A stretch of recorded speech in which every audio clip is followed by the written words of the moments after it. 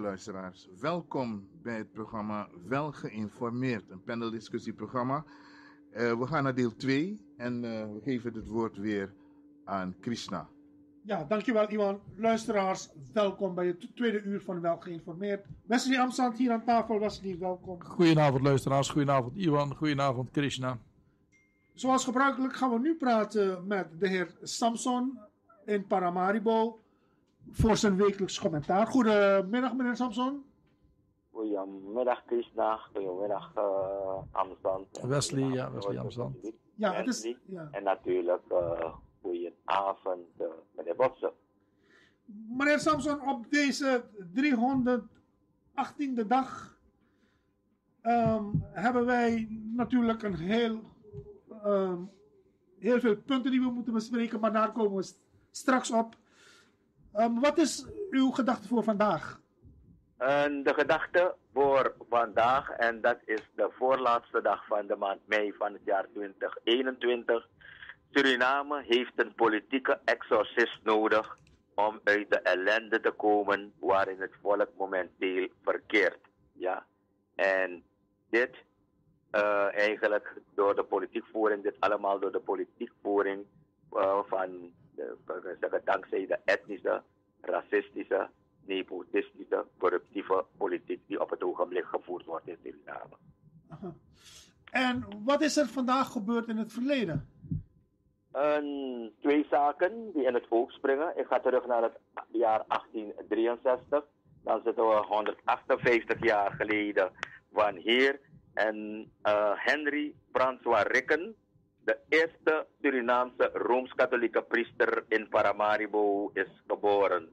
Uh, Rikken, uh, hij is in Paramaribo geboren. Mm. Hij heeft de priesterstudie namelijk uh, in Nederland gedaan. En in 1891 studeerde hij daar af. En in 1892 was hij direct weer in Suriname. Hij heeft namelijk gediend in Coroni, in Para en in Nikeri. En hij is de schrijver namelijk van het boek Kojo, Mentor en Present de brandstichting die toen de tijd, dacht ik, in 1832 hier heeft plaatsgehad. En waarbij de drie Kojo Mentor en Present aan de Heilige Weg, uh, dat is precies op de hoek uh, waar de waterkant toen liep, uh, verder hoor dan het nu is. Een Kojo Mentor en Present ter dood zijn veroordeeld.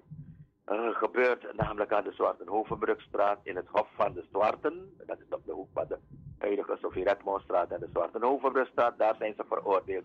En uh, ze zijn levend verbrand geworden op de hoek van de Heilige Weg en uh, de waterkant. En het huis waar het, dat in brand was gestoken van hun meester, ex-meester, want het waren weggelopen slaven. Uh, namelijk uh, meneer Monsanto of de familie Monsanto.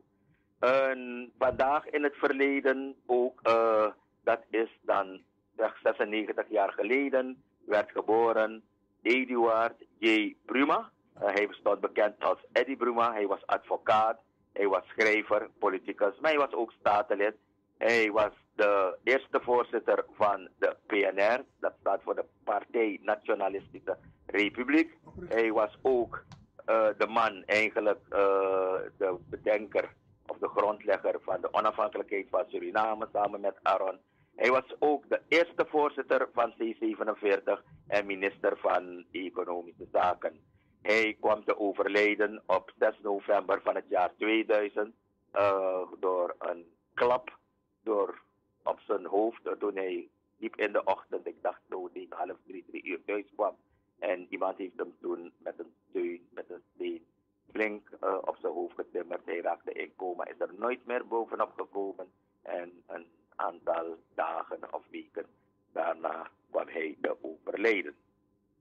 Goed, meneer Samson, we hebben een groot aantal actuele punten te bespreken. Maar um, ik weet zeker dat luisteraars zitten te popelen over het, om het laatste nieuws over de COVID-situatie en over de wateroverlast in Suriname. Dus daar, ja. daar openen we mee. En laten we beginnen met de COVID-crisis in Suriname. Het is nogal ja. dramatisch, meneer uh, Samson, dat de regering code paars heeft afgekondigd. En zelfs code zwart. Uh, ja, code zwart voor de ziekenhuizen. Ja. ja. En Eh, ik moet het zeggen, echt triest, maar dat komt allemaal door het wanbeleid, vooral van de minister van Volksgezondheid, waarvoor ik al maanden waarschuw. Ja? En u weet het, eh, in de mensen, de katholieken, waaronder bischop Toenie, die kon zijn kerstviering niet vieren met een Ja. groep van 30, zoals hij had voorgesteld, eh, rekening houdende eh, met die social distancing. Eh, eh, het werd hem gewoon verboden. Oké, men heeft zich bij neergelegd. Een oudjaar konden wij niet vieren, maar u weet het, ik heb steeds via u verder gezegd, Ja. komt eraan. En u gaat zeggen, u gaat zien, er is geen lockdown. De mensen zijn goed tekeer gegaan van iedereen, iedereen en nog wat. eh, die is pak wat gaan vieren. En dat is in feite een wat nog voortzutter. Daarnaast hebben we ook gehad een hele toestand met ene Bordeaux. een iemand die nooit naar school is geweest in feite, maar de beleidsadviseur is van de president. Eh, dat is Brunswijk, een man met twee veroordelingen op zijn naam vanwege drugsmokkel naar Nederland en naar Frankrijk. Mhm. En er is een signaleringsverzoek eh, bij eh, Interpol voor hem. Dus hij is eigenlijk nog steeds verdachte, zo je wil. en dat gaat ook zo weerslag hebben, want dat is afgelopen week heeft het plaats gehad, precies op dinsdag jongstleden 25 mei. En eh, dat moet er nog komen. Maar goed, eh, wat er allemaal is gebeurd, eh, het is zo ernstig geweest en we weten het. we hebben een minister waarvan die man steeds in de belangstelling moet zijn. Maar er is geen beleid als zodanig en met alle consequenties van dien. Eh, deze week zelf is het zo erg geweest, eigenlijk met zijn een Einzelgangersteen, eh, dat mevrouw Marcelisa Eersel, dat is de oud-directeur van Volksgezondheid, en Ingrid Krishnadat, zijn twee infectiologen, volgens mij niet meer eh, tegen dat rommeltje van die minister konden, namelijk en eigenlijk ontslag hebben genomen. Ja, De minister is ook iemand die met iedereen overhoop ligt. En eh, je hoeft maar niet te, je zegt bij wijze van spreken, je hoeft te zeggen de minister is bijvoorbeeld een, een narcist. eh. volgens mij, hij weet niet eens wat narcist is. Nog, laat staan zijn advocaten. Ja, ja. Hij beschouwt het als een belediging. En de man ziet kans om een advocaat te nemen van 26.000 gulden om tegen eigenlijk een medewerker van het radiostation eh, eigenlijk te procederen. 26.000 eh, gulden. De grote vraag natuurlijk in Suriname is op dit moment, wie gaat het betalen? Gaat hij het zelf uit zijn zak betalen of komt het uit de overheid? En mensen zijn nu met argusogen bezig te kijken eh, wat dat het geval zal zijn. In elk geval, u weet het, toen deze minister overnam, toen eh, hadden we een heel goed team onder leiding van Daniela Feira, een, iemand met een vrij logistieke opleiding gedaan aan een universiteit in Amerika. Een Cleopatra Jesseren en een meneer Sleengaard. En ik moet zeggen, een, eh, er was gezag. Mhm. En de instructies werden opgevolgd. Maar vanaf deze, dit team heeft overgenomen, waar het totaal geen gezag is, nog van de president, nog van een van die ministers van deze president, doet men maar wat men wil. En nu is het zo geweest deze week dat eh, de mensen eh, president Johnson Toki eh, hebben opgeroepen om dat heel team te managen en te monitoren. Eh, dat allemaal in het kader van het COVID-19 gebeuren en alles naar zich toe te trekken. Eh, waarom? Omdat die toename van het aantal COVID-19 besmettingsgevallen, en dan heb ik het bijvoorbeeld over de hoge besmettingsgraad, het recordaantal doden, eh, zeker eh, alleen maar 84 doden in deze maand mei alleen. Zo. Ja, bijna kan je zeggen, het zijn drie per dag. Ja. Overvolle ziekenhuizen en natuurlijk niet te vergeten het tekort aan IC-bedden. Dat zijn eigenlijk grote zorgpunten in die gemeenschap. En er is toen gevraagd om de directe bemoeienis van de president. En mede met het oog op herstel en verbetering van de vertrouwensrelatie met de samenleving.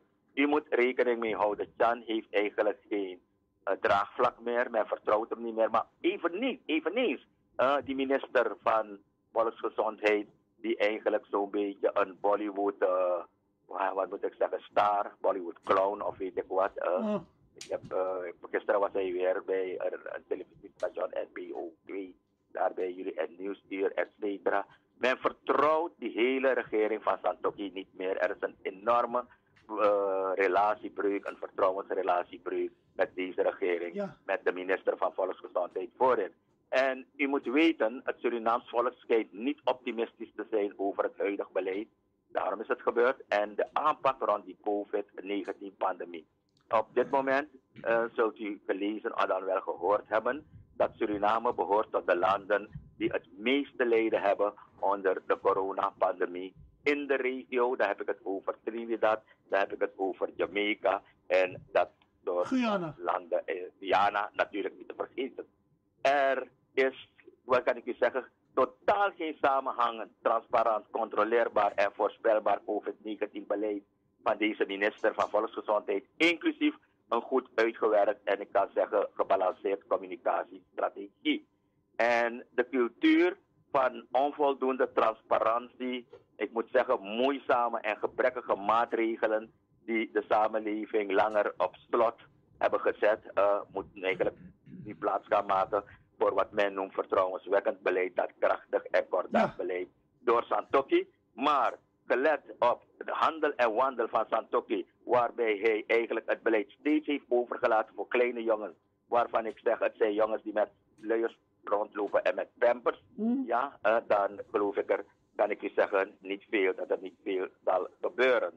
Daarom, nogmaals, uh, een, is er vanuit de bevolking een dringend beroep op de regering gedaan te komen met duidelijke uh, zaken. Ook vaccinatiecampagne is compleet mislukt. En je weet het, dat ding is gewoon stopgezet. We worden opgescheept, ja. En, namelijk met, hoe noemen ze het, met een AstraZeneca. Maar dat is een goed vaccin. Het is een goed vaccin, maar de grote vraag natuurlijk, Ja. en dat brengt die verwarring in Nederland, is het abrupt gestopt. Eigenlijk zo'n beetje zoals u weet, ja. En men gaat, men doet meer Pfizer daarbij u. Dus dat werd natuurlijk grote vragen. op. On- onder de 60 is het stopgezet. Maar vanaf. Onder de 60, ja, klopt. Ja. Maar om, omdat er geen goede communicatie ook is uh, vanuit het ministerie van Volksgezondheid en vanuit de overheid, uh, zijn er grote kanttekeningen waardoor de mensen ook twijfelen. Uh, twijfelen om namelijk te gaan vaccineren. Met die verstande moet u weten dat ik geloof dat amper 10, 15 procent, nog geen 15 procent, namelijk gevaccineerd is. Uh, die president, uh, zegt men, uh, die zal, vindt men, moeten toezien dat bewindslieden zoals de minister van Volksgezondheid, maar ook andere, de overige beleidsmakers, de functionarissen, allemaal in topposities. Ik denk aan de directeuren en mensen die strategische functies hebben en de protocollen en maatregelen niet volgen en aan hun laars lappen. Daar zal de president op moeten toezien. En als het nodig is, dan moeten er namelijk sancties op volgen. Kortweg, meneer Krishna, er is een duidelijk beeld van wantrouwen, frustratie, boosheid en vaccinatievrees dat gevoed wordt door onder meer de twijfel en natuurlijk als hoogwaardigheidsbekleders daadwerkelijk wordt ingeënt. Uh, en, maar ook vanwege het feit dat er leugens worden verteld en dat er geen gezag uit wordt gestraald vanuit de regering. Ja. Meneer Samson, um, maar, maar nu is het zo dat de regering een aantal maatregelen heeft afgekondigd. Er komt een uh, volledige lockdown. Bedrijven gaan sluiten, winkels gaan sluiten, banken gaan sluiten. Alleen op bepaalde dagen gaan ze open zijn. En er komt, de, de avondklok wordt gehandhaafd. Er, moet, er, moet, er moeten uh, desastreuze maatregelen genomen worden. Wil, dit, uh, wil, men de besmettingen weer uh, terugbrengen? Heeft u daar begrip voor? Ik kan u één ding zeggen. Uh, we worden gelockdown. En er worden zelfs nu grappen gemaakt uh, dat waarschijnlijk overdag dan slaapt het virus en s'avonds gaat hij op straat. Daarom moeten wij eigenlijk gelockdown worden. Bovenal, ze hebben ons al een paar weken gelockdown. En wat zien we? Het aantal besmettingsgevallen neemt niet af. Bovenal, het aantal doden is namelijk desastreus uh, toegenomen. Ik kan niet zeggen, uh, vandaag is uh, 30 april. En ik neem de cijfers die ik heb kunnen bemachtigen van gisteren. Er zijn 210 nieuwe gevallen, COVID-gevallen Ondertussen zijn er 288 mensen overleden. Ga maar, eh, toen van het vorige COVID-team werd overgenomen, waarvan meneer Santoki zo'n grote mond had dat zijn COVID-team eh, waarschijnlijk eh, veel beter is dan die vorige. Er zijn 206 mensen in het ziekenhuis, of in de ziekenhuizen samengenomen. Anderen liggen buiten. Onder tenten. Uh, Maar als de mensen zich niet houden aan de maatregelen, dan natuurlijk gaat het zich verspreiden. Nee, dan moet jij En dan kun je natuurlijk de regering de schuld geven. Wij hebben hier meer dan een jaar in lockdown gezeten. Luister, lu- luister laat, me jou één, laat me jou namelijk één ding zeggen. Dan moet je namelijk optreden. eh. Denk jij dat mensen begrip voor gaan hebben wanneer beleidsmakers een feest geven eh, en de legers aan hun, eh, aan hun laars lappen en waarvan wij zelfs weten eh, dat eigenlijk Jan Piet met 50 tot 60.000 mensen eigenlijk een dispensatie hebben, ge, hebben om namelijk op straat te zijn. Heeft, kent u het geval wel toen er mensen namelijk uit Haiti kwamen met het vliegtuig waar de minister van Buitenlandse Zaken, de minister die, eh, die de baas is van het ministerie dat Bisbis Worong heet, of hoe dat ministerie mag heten, ja, toestemming heeft gegeven. Waar boze tongen vertellen dat ze per vlucht 300.000 US dollar ver- verdienden. En niemand wist ervan. De mensen kwamen binnen, eh, gingen niet eens in quarantaine op een fatsoenlijke manier. Iedereen was, wist ervan. Chan wist ervan, de minister van Buitenlandse Zaken wist ervan, de minister van Volksgezondheid wist ervan. En de mensen trokken door namelijk naar Frans-Guyana.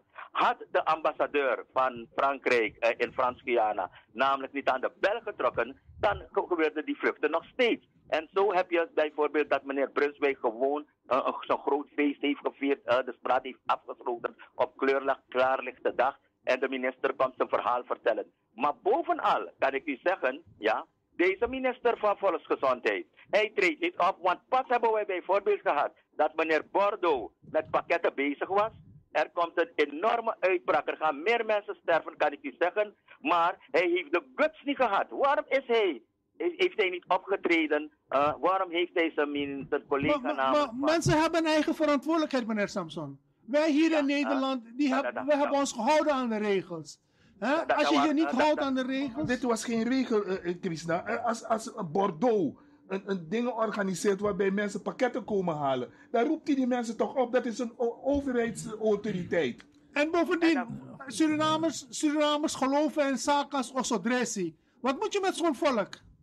Eh, Ga- ik- ik ga maar je halen in plaats van je vaccin. Maar, maar, maar, maar, maar wat is namelijk het probleem? Iedereen zegt hij heeft zijn eigen verantwoordelijkheid. Eh, wie wil gebruikt hem? Maar wat denk je zelf van iemand die in het binnenland is eh, en eigenlijk niet eens contact heeft met reguliere doktoren? Hoe denk je dat ze zichzelf daar genezen? Ja, met bladeren en weet ik wat en kruiden en weet ik wat allemaal meer. Eh, dus dat ding van die osodresie, het is iedereen zijn eigen verantwoordelijkheid. Als de mensen vinden dat het werkt, meneer, dan vind ik dat heb je het recht niet om de mensen te gaan beperken in hun. Nou, dan krijg je dit. not Sorry hoor, maar dan krijg je dit. het is not my thing, maar het is uh, Suriname is geen Nederland. Ja? maar meneer, meneer Samson, meneer Samson, nadat het beleid onthoofd werd, dus nadat het team van deskundigen die over de nodige expertise beschikte, werd weggestuurd, trad er een verslechtering op. Ja. Er waren amper doden, er waren amper besmetten. Maar toen luisterde men wel eh, naar, de, eh, naar de autoriteiten. U kent het geval nog waar mensen hebben gezegd eh, toen dat ze een, een tequila party zouden geven. Er is nog een plaat daarover geweest. Hij sprong direct vanuit het niets naar nummer 1 daar in Nederland. En toen was het mevrouw Veira die zei, doe het, doe het als je wil. Je gaat de dag vloeken namelijk. aan de andere kant kan ik u zeggen, we hadden hier namelijk een meneer Sleengaard. Hij zorgde ervoor dat beide grenzen bewaakt werden. Iemand moest namelijk proberen om met een Koreaan over te steken van zeg Naar, een, eh, hoe noemen ze het, naar Suriname, naar Albida. Dan zou je het namelijk weten. Ja? Deze mensen zijn poppenblazers, man. Het zijn Dus u heeft, de handhaving was dus succesvol en eh, gezag en expertise gingen hand in hand. Ja, en nu, eh, en nu heb je namelijk een dokter, maar ik blijf erbij, een dokter is nog geen manager. En dat merk je helemaal eh, dat het gewoon rommel is geworden. Net zo als Santoki geen leiding aan dit land kan geven, luistert niemand naar. Wanneer er gezag was, kijk wat er in Nederland namelijk is gebeurd. Ja? Op een bepaald moment was het tuig van de regel allemaal op straat. Ze zijn gaan plunderen en weet ik wat. Het is gewoon de kop ingeslagen. Ja? En binnen een paar dagen, meneer, waren de mensen weer in huis. Is iemand nog, uh, heeft iemand nog deze grap namelijk uitgehaald? Het gaat namelijk om gezag. Deze regering heeft geen gezag. Men wil die regering niet meer. Uh, dat okay. volk pinaart uh, en men gelooft niet wat die regering zegt. Dus je hoe, gaat dit. Hoe moet het dan verder, niet kunnen handhaven. I don't know, ze bekijken het, ja. ze moeten opdonderen. Uh, ze moeten gewoon opdonderen. We hebben ze de kans gegeven, maar en... ze kunnen het niet. Ze maken chaos uh, ja, en het volk lust ze niet meer. Wie, wie, wie zou dan in de plaats moeten komen om deze crisis? Om, om deze crisis, want er zijn meerdere crises.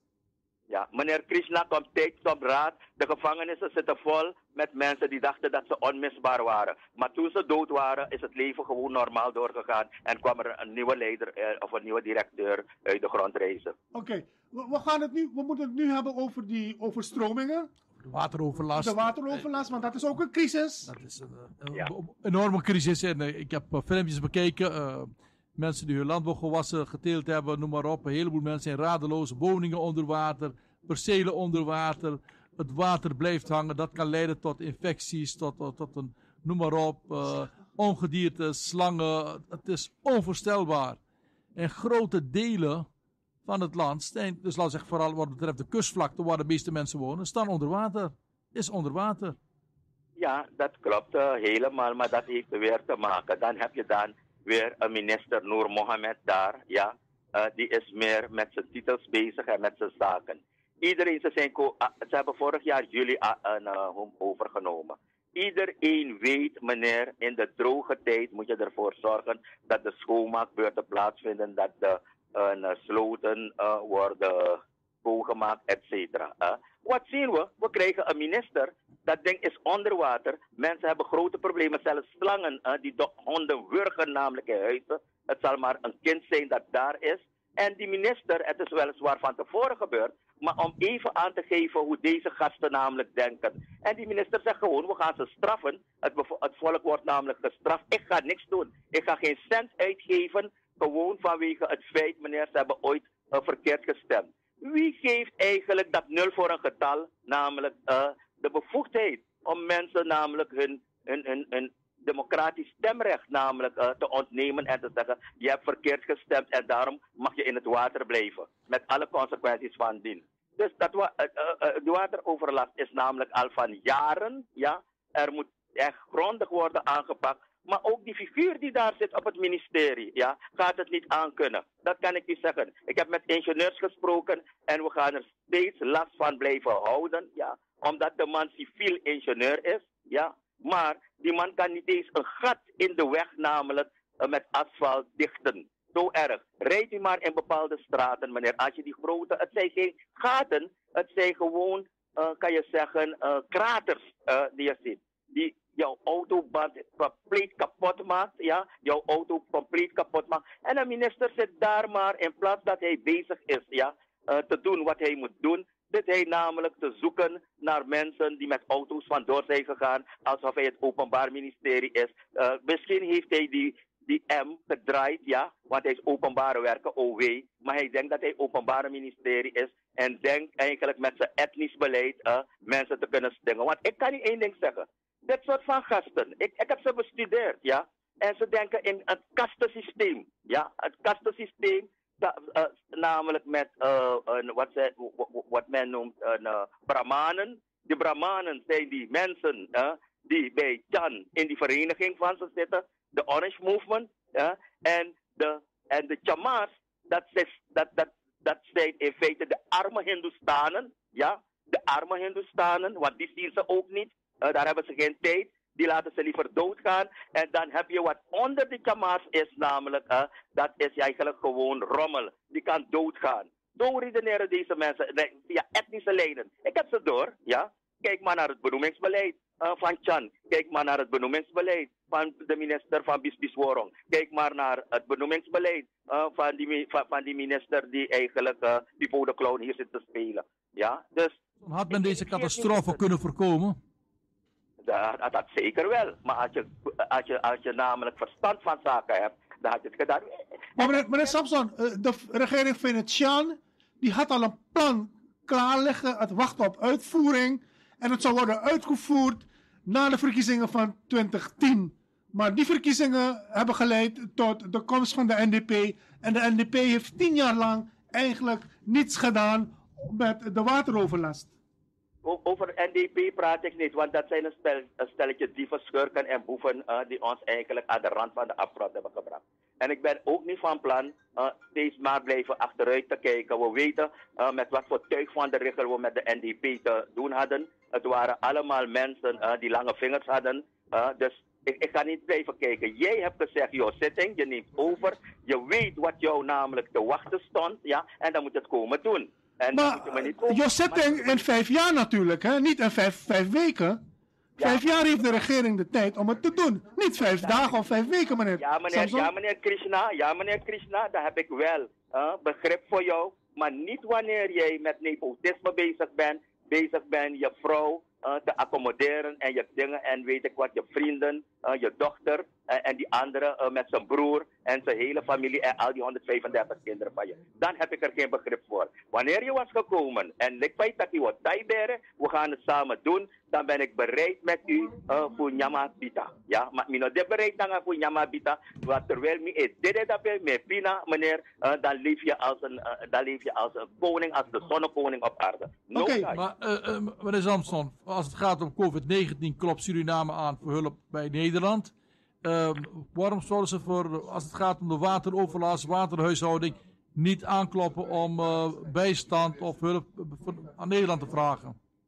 Waarschijnlijk hebben ze niet eens tijd hoor. Het- Wat deze regering alleen maar interesseert is geld, geld, money making business en wel, weet ik wat allemaal meer. Ik heb niet gezien dat ze zijn komen zitten, namelijk voor het volk, voor het welzijn en welvaart van dit volk en van dit land. Eh, het zijn mensen, het zijn hele rare vogels. Ik heb u al gezegd, ze beschouwen zichzelf als Ariërs. Als in de tijd van Hitler, ze noemen zichzelf Brahmanen en al het andere. Dat kan je En daar moet ik bezwaar tegen aantekenen. De Ariërs zijn ou- ouder dan de, dan de nazi's. Eh, Nee, dus, eh, dus, De Ariërs zijn een, een geloof in, in India. nee, nee, nee, nee, En dat heeft niks te maken met het nationaal socialisme. En daar teken, teken ik bezwaar aan. Je zit te kletsen uit je nek daar. Luister naar mij wat ik zeg. Hitler heeft toch gezegd, meneer, hij wilde toch alleen een Arisch ras op aarde hebben. Ja? Dus je zit gewoon uit je nek te kletsen, gewoon te kletsen uit je nek. Ja. Maar wie zegt dat ze Ariërs zijn? Hebben zij zelf gezegd dat ze Ariërs zijn? U maakt het ervan. Namelijk in het beleid wat, wat namelijk Hitler voerde. Ja, en dat kan je duidelijk merken, namelijk die scheiding. En die scheiding is namelijk mensen, arme mensen, mensen die, die op hun lijken, meneer, eh, die worden namelijk gewoon verwaarloosd. eh, en ze sturen de mensen gewoon de hongerdood tegemoet. Daar gaat het namelijk om. Maar waar haalt u het vandaan dat ze Ariërs, zichzelf Ariërs noemen en zich als Ik heb Ariërs zien? gezegd, ze gedragen zich net als hoe Hitler redeneerde. Meneer, wij, wij zijn het Arisch ras. Rood haar, blauwe ogen. En dat is niet voor iedereen. Dat is, dat, eh, dat is voor dat clubje daar, eh, wat ze noemen de Orange Movement. Daar heb ik het over. Ik heb het niet over Hindustanen of wat dan ook. Ja? Ik heb Maar het verband met Ariërs zie ik niet, sorry hoor. Ja, daar da, da, da, da, heb je pech gehad. Ja? Ik, heb het, dingen, eh, ik heb het over Hitler, maar goed, eh, het heeft geen zin om verder met u verder daarover te debatteren. Hitler is gekomen, meneer, ik wil een Arisch ras, ja, en waarschijnlijk redeneren deze gasten precies zo ook. Heeft u daar aanwijzingen voor? Wat zeg je? Heeft u daar aanwijzingen voor? Eh, ik zeg, ze, eh, ze redeneren waarschijnlijk precies zo ook. Ik heb niet gezegd dat ze het doen, ze redeneren precies zo ook. Waarschijnlijk precies zo ook. Meneer Samson, waar, waar u woont, heeft u veel last van wateroverlast of valt het mee in het gebied waar u Nee. woont? Ja, we hebben eh, allemaal het hele land ook bij. Ik heb eh, verschrikkelijk veel last. eh, je moet het doen namelijk met de laars. Ja, ja, dus dat is eigenlijk onvoorstelbaar voor een, ja, het, is een ongekende situatie. Ja, dat klopt. En je moet verschrikkelijk oppassen, want de straten zitten echt vol met kaimannen. Eh, meneer Botsen weet er alles van. Ik stuur de films vaak voor hem. Ik share de films voor hem. En er zijn zelfs slangen in huizen. En Ja. Ik heb bijvoorbeeld, ik ken mensen eh, die hun huis niet kunnen verlaten, want het wordt helemaal namelijk leeg geroofd als je niet oppast. Dus wat hebben ze gedaan? Eh, ze hebben namelijk stenen gezet, hun bed namelijk op die stenen. Maar je moet wel begrijpen dat wanneer zo iemand s'avonds naar het toilet gaat, dan moet die persoon ook door het water waden om naar het toilet te gaan. Aan de andere kant eh, zijn ook die toiletten helemaal overspoeld met alle consequenties van die nam- namelijk voor ziekten. Ja? Maar ze kunnen de toiletten niet eens gebruiken, want als je doorspoelt, komt alles weer naar boven. Dat klopt helemaal. eh. dus waarschijnlijk eh, wat ze doen, eh, heb ik begrepen, een, hoe noemen ze het, ze maken gebruik misschien van, I don't know hoor, ik zou het niet weten hoe, hoe men het namelijk aanpakt. Ik woon toevallig hoog, maar als ik naar buiten ga, dan kom je niet naar buiten zonder een laars. Want het water is vrij hoog. Ik weet nog de eerste keer deze week toen ik naar buiten ging en ik die laars aan had, moest ik even oppassen dat het water nog. Ik moest opletten dat het water niet in die laars ging. Ja, Ja. goed. Meneer Samson, we, we moeten het echt hierbij laten. We Ik- gaan naar een ander punt. Eh, eh, de, de, de destructie van de NPS. Ja, de, die destructie van de NPS is echt een, eh, een, een, een, een, een vrij zielige zaak hoor, kan ik u zeggen. Er is een artikel verschenen en, eh, van een NPS-lid, ene mevrouw Silenta Neslo. En dat artikel wil ik wel aandacht aan besteden, vele mensen kennen het al. En dat heeft allemaal te maken, namelijk eh, met het beleid dat daar binnen de NPS eh, gevoerd wordt van verdeel en heers. Een verschrikkelijke een, eh, beleid van namelijk verdeel en heers, ja. En van de voorzitter die eigenlijk, ja, I don't know. Ik heb no- nog begrepen, ik weet niet of het waar is hoor, maar boze tongen eh, die beweerden daarvoor dat hij waarschijnlijk zelfs de statuten heeft veranderd om nog langer te kunnen zitten eh, dan hij al aan zit. Velen lusten hem niet, maar het komt hier, ik zou het bijna willen gebruiken als een gedachte voor vandaag, maar dan misschien een gedachte voor mevrouw Silenta Neslo, ja, die zegt, een partijleider die intern geen transparantie en zelfreflectief kritisch leiderschap demonstreert, dus dan heeft het namelijk over de voorzitter van de NPS, de huidige voorzitter van de NPS, een partijleider die binnen de partij enkel gelijkdenkenden accommodeert, eh, lijkt wel op dat team van Chan en zijn bende. Deze partijleider zal nationaal en vooral binnen de overheid nooit effectief kunnen afrekenen met vriendjespolitiek en nepotisme.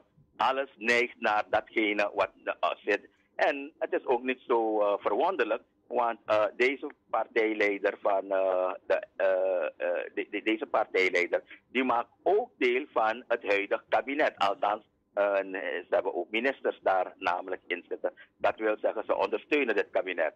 En de mevrouw Celenta zegt, ja, ze hebben overal verteld dat ze voor obstructie zorgde. Er werd gezegd dat Celenta zorgt voor verdeeldheid binnen de partij. Er werd zelfs gezegd dat Celenta uh, een partijvijand is. En ze zegt, we zijn nu enkel, uh, enkele maanden, tot bijna een jaar verder. En de tijd is niet mijn vijand, maar mijn beste vriend gebleken.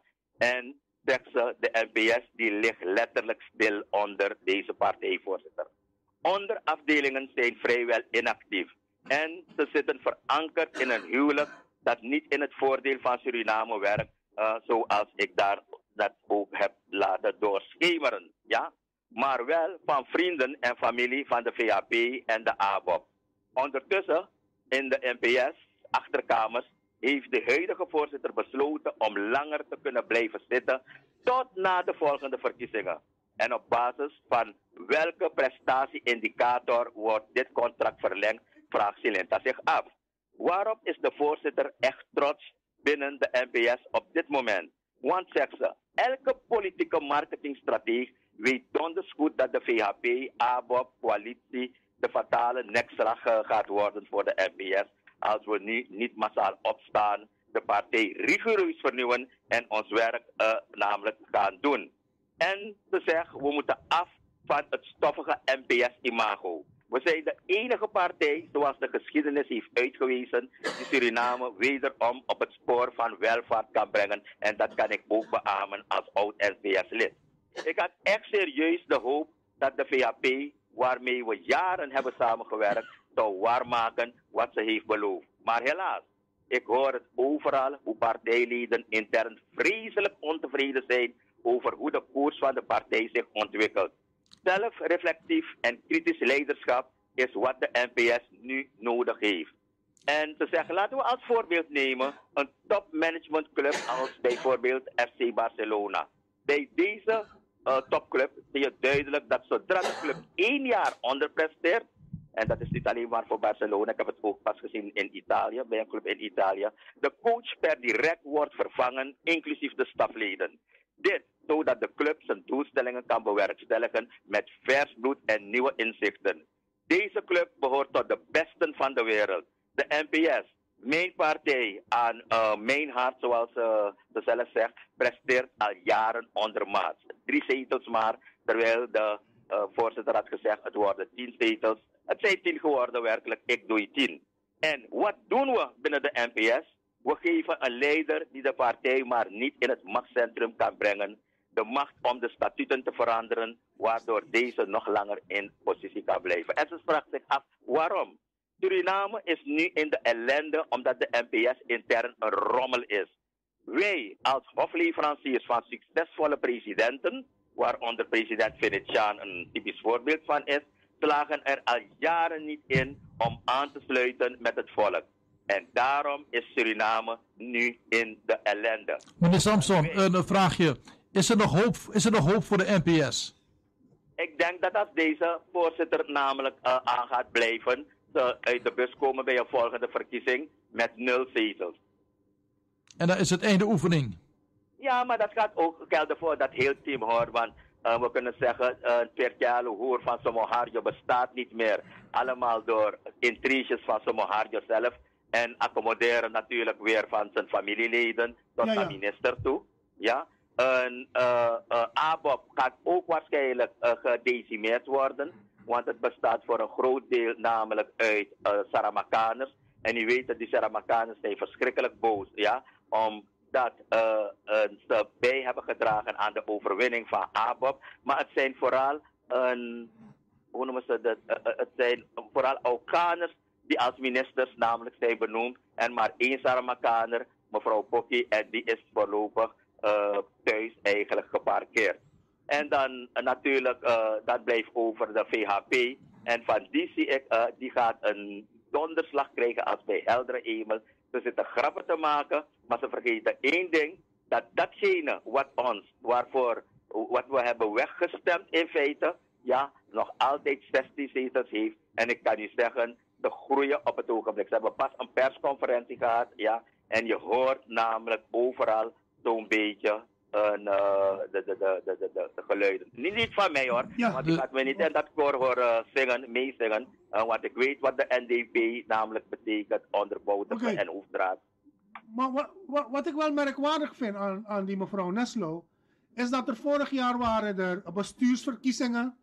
Men had alle kans om um, een, een nieuw bestuur te kiezen, een nieuwe partijleider te kiezen. Maar wat zien wij? De meerderheid van de NPS-leden heeft toch gekozen voor het huidige bestuur. Dus wat is het uh, draagvlak? Hoe groot is de ontevredenheid binnen de NPS, zou je dan afvragen? Nou, uh, wat mij is gerapporteerd, de mensen zijn verschrikkelijk bang voor de leiding. Uh, dat is er namelijk gebeurd. Wat mij is gezegd, in eerste instantie hebben ze werkelijk zo'n beetje afgestemd. Ik weet zelf dat er een uh, rechtszaak is geweest van ene meneer Loswijk zelf. Het was een vrij grote groep, maar toen puntje bij paaltje kwam, uh, heeft men die groep gewoon laten staan. Uh, bang voor rancune natuurlijk. En natuurlijk er zijn een heleboel opportunisten die denken, uh, ik, ga, ik wil ook een graantje meepikken in dit wat er op het ogenblik aan de macht is. Scheuring binnen ABO, verwacht u dat? Het zou kunnen, het is niet uitgesloten. dat hebben de Saramakaners van Brokopondo, maar ik denk ook van de andere gebieden ook al een beetje aangegeven dat zij altijd de zetels voor ABOP hebben binnengebracht, maar ze zijn nooit eigenlijk uh, beloond geworden, geaccommodeerd geworden, uh, zoals men dat namelijk zou verwachten. Integendeel, als men eenmaal aan de macht was, uh, was men die mensen vergeten. Op basis van uw analyse komt, lijkt het erop dat de NDP de lachende derde zal worden. Op basis van uw huidige analyse. Ik, ik, ik, ik, ik hoop het niet. Ik kan u wel zeggen, er zijn wel mensen bezig. Ik uh, hoor bijvoorbeeld uh, ene meneer Nanko Singh, die is druk bezig en die komt net als ons voel uit, eerlijk uit van wat er namelijk speelt. En, en wat men zal moeten proberen, al die kleine partijen, zal men even moeten proberen om bij elkaar te krijgen maar het vervelende van is, die dingen zijn vaak niet gebaseerd op een ideologie of een maatschappijvisie. En dat kan we natuurlijk weer voor problemen namelijk gaan zorgen. Maar NDP was het niet, Santoki en, zijn, en, en, die club, uh, en die club die niet zit, dat, dat is het ook niet. Ja. Sterker nog, Uh, De ik, durf zelf, ik durf zelf te zeggen, het is erger geworden dan het onder Bouterse was. De toekomst van Suriname is eh, de combinatie NDP-VHP. Die richting Zou gaat het op. Uh, het, het, zou, het zou kunnen. In elk geval, het land moet geregeerd worden. Men doet maar, ja. Uh, dus die twee vinden dan elkaar, uh, weet je. Wat mij wel is opgevallen, de mensen, als ze de gelegenheid krijg, krijgen, want het luchtruim is afgesloten, maar zodra de mensen, vooral de jongeren, de gelegenheid krijgen, trekken ze weg uit het land. Ja, en vergeet niet, de, um, men deed lacherig over de, dat de VHP moeite deed om stemmen van de Saramakaners te, te halen. Vergeet niet dat de VHP altijd een, een, een marontak gehad heeft, hè? De heer Ja, Gadden. dat weet ik wel. uh, dat weet Gadden. ik wel. uh, Ja. ja. Maar, dat, maar je kan het niet vergelijken met de V- Daarom praat ik niet over de VHP. Ik hou de VHP er buiten en ik praat over Orange Movement. Maar vergeet u één ding niet, dat dit volk eigenlijk op een verkeerd been is gezet. Sterker nog, is gewoon misleid geworden uh, met zoiets wat ze noemden een bromtijari, waar het hele volk mee blij was. Ja, onze president.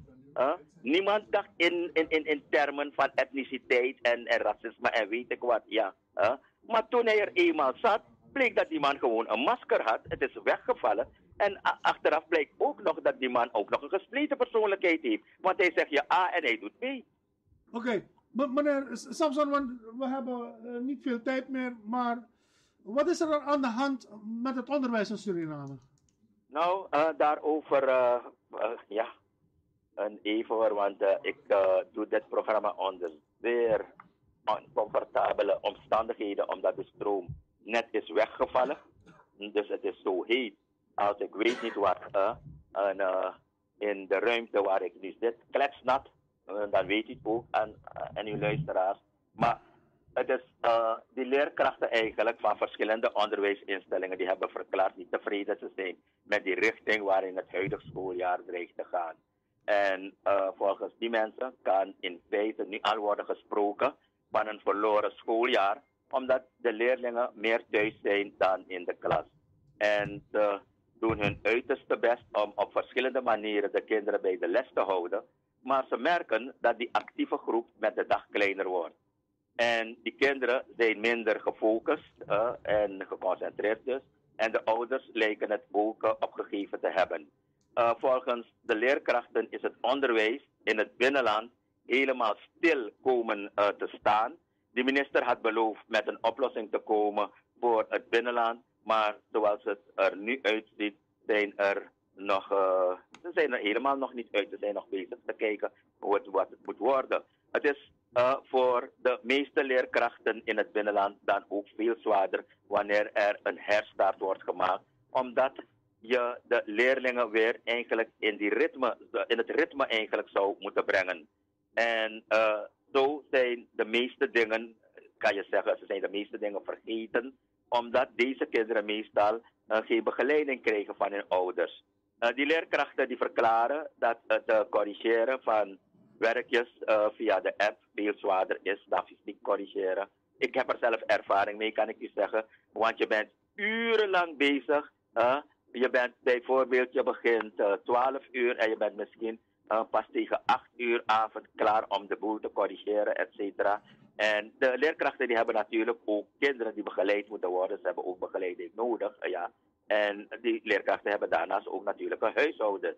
En te zeggen, we zitten al langer dan een jaar in dezelfde situatie en er had een oplossingsmodel moeten zijn, maar we kunnen niet blijven hopen uh, dat COVID verdwijnt, dus de COVID, uh, het COVID-19-virus verdwijnt. het is er en dus moeten we het systeem aanpassen. Maar zeggen ze, indien ze blijven hopen, zal het onderwijs vastlopen en dan zijn we nog verder van huis. En dat is een heel trieste, vervelende situatie natuurlijk. Voor het onderwijs dat vorig jaar ook vrijwel niet is afgemaakt, maar wel examens zijn afgenomen. Als, als ik u zo hoor over alle die beleidsterreinen, dan uh, moet je toch tot de conclusie komen dat u vindt dat dit een failliet beleid is. Dat is gewoon een failliet beleid. Ik kan en wat zijn de gevolgen noemen. daarvan? En zeker ook uh, als we dus ook kijken naar. Uh, uh, ja, u, u, u heeft, ik zei het al, een failliet beleid heeft u aangegeven. En er is ook een oneerlijke verdeling van, van, van bepaalde taken. Hoe, hoe, hoe brengt u dat met elkaar in verbinding? Ja, en uh, hoe noemen ze dat? Die oneerlijke verdeling, dat heb ik al zo'n beetje over gehad. Hè? En uh, toen ik zei dat hele geval waarmee we geconfronteerd zijn met het nepotisme. het klinkt eigenlijk, het klinkt ons eigenlijk nog heel goed in de oren toen er werd geadviseerd slim te, stemmen, moet ik je zeggen. En uh, Santoki heeft ook gezegd, geef me uw stem en ik geef u een mooi Suriname. Dat waren zijn letterlijke woorden tijdens de uh, campagnes. En de mensen werden opgeroepen om ook zo te handelen. Uh, we kennen allemaal het krantenartikel, waarschijnlijk u ook, dat melding maakte van 200 dagen zou alles zo'n beetje al in elk geval in de, op de rail zijn, of laten we zeggen urgentiefase. Van die urgentiefase is er net gekomen. Intussen zijn we een jaar verder en er is nog weinig gerealiseerd, zoals ik daarnet heb uiteengezet. Uh, we hebben als Surinamers nogmaals onze stem gegeven en kregen in ruil daarvoor uh, meneer Botse, meneer Amzat, uh, meneer Kishna, verhoogde tarieven, verhoging van nutsvoorziening, verhoging van brandstofprijzen, verhoging van prijzen in de winkels en verhoging van de wisselkoersen, uh, namelijk van 7,52 naar tot uh, eh, 21 voor de dollar nu en 25 voor de uh, euro. Kortweg, je kan zeggen op de zwarte markt 25 voor de dollar en 30 voor de euro op dit moment. Het enige dat in de eigenlijk in het afgelopen jaar is verlaagd, betreft namelijk het salaris van ons, ja, want die is geërodeerd. De prijzen van bijvoorbeeld laten we maar iets noemen, hè. Groente, fruit, die vliegen de pan uit. Uh, wat de eerste burger namelijk niet snapt, de meneer Santoki, is dat wij de samenleving zeker niet, dus wij samenleving, uh, ik heb het steeds gezegd, uh, we zijn niet onwillig om in te leveren, omdat we beseffen welke ramp die vorige regering heeft achtergelaten. Maar ik wil daarover niet steeds blijven praten en in die achteruitkijkspiegel kijken. Maar ik ga u nogmaals zeggen, ik weiger in te leveren terwijl anderen zich schandelijk verreken. Uh, terwijl jongeren geen grond kunnen krijgen, pikt de vicepresident uh, duizenden hectare, zo niet duizenden, honderden hectare ja, weg. Terwijl recruten al bijkans twee jaar op een oplossing zitten uh, te wachten en het moeten doen met een karig loontje, zijn er mannen in de regering die zichzelf verrijken met meerdere functies. Terwijl het volk inlevert, worden er statuten gewijzigd om een first lady te accommoderen die op het ogenblik in Nederland namelijk is. Ja? Terwijl het volk inlevert, is er een minister die praat over het volk straffen. En dat is uh, die minister van OW voor gemaakte verkeerde keuzes. Terwijl de kleine man inlevert, wordt er uitbundig gegeten en gedronken in de top van het bestuur, net als in de tijd van Lodewijk XIV, de zonnekoning. Zo zijn er tal van zaken die niet door de beugel kunnen. Dit allemaal terwijl het volk meneer Samson, Even nog heel even wat vragen. Ten aanzien van, ik zag gisteren op de te televisie, of ik zag in elk geval uh, beelden van mensen die vanuit de stad, de mensen vanuit Para en de districten, snel naar de stad wilden gaan omdat er geen banken zijn. Die mensen konden hun geld krijgen en die moesten hun geld ophalen. Is er, is er nog iets duidelijk geworden van wat, hoe dat allemaal gegaan is? Want er was een lockdown en de mensen die moesten naar de banken gaan. En ik, ik, het, het was werk verschrikkelijk om te zien hoeveel auto's vanuit de districten naar de stad gingen. Het klopt er ook. Ik zat ook in die file, moet u weten. Maar wat ik u namelijk uh, mee kan geven, uh, het is, er zitten dingen te doen als een kip zonder kop. Ondoordacht. Uh, ik vroeg mij af, die mensen die dingen verkopen, namelijk langs de weg, ja, uh, straten. En op de maandag en uh, ik, nee, sorry, de dinsdag en de donderdag mag je namelijk niet op straat. Maar hoe gaan de mensen aan inkomsten komen om hun voedselwaren te gaan kopen? En vlak voor uw uitzending was ik even bezig. Uh, we kunnen niet contant gaan betalen, namelijk als we namelijk onze, onze licht moeten betalen, onze lichtrekening. Ja? En uh, wat is het? Je moet het overmaken. Maar toevallig zit ik bij een bank die geen overmaking doet. Die die faciliteiten namelijk niet heeft. Ja. Die bank is namelijk al die jaren mijn huisbank geweest. Uh, dus ik denk er geen haar op mijn, op mijn kop die er denkt op dit moment om de bank namelijk te gaan verwisselen. En zo zijn er worden de beslissingen genomen. En weet je waarom? Omdat we een minister van Volksgezondheid hebben. Volgens mij zit hij de hele dag te kijken naar wat er wordt uh, bekokstoofd daar in Nederland. Hij begrijpt de verhoudingen totaal niet, want hij heeft zelf nooit in Nederland gewoond. Hij weet niet hoe die, hoe die hele samenleving daar in elkaar zit, want je moet erin geleefd hebben om het te weten. En dan neemt hij die dingen namelijk klakkeloos over en dan gaat hij ze namelijk op ons toepassen met alle consequenties van dien. Dat is het probleem dat zich op het ogenblik voordoet. En ik kan u zeggen, een man, een man als meneer Santoki heeft namelijk een, uh, een, uh, die, die, die, die politieacademie die hij daar ergens in Nederland heeft gedaan. Uh, dat is een, hoe heet die plaats weer? Ja, Apeldoorn. Apeldoorn.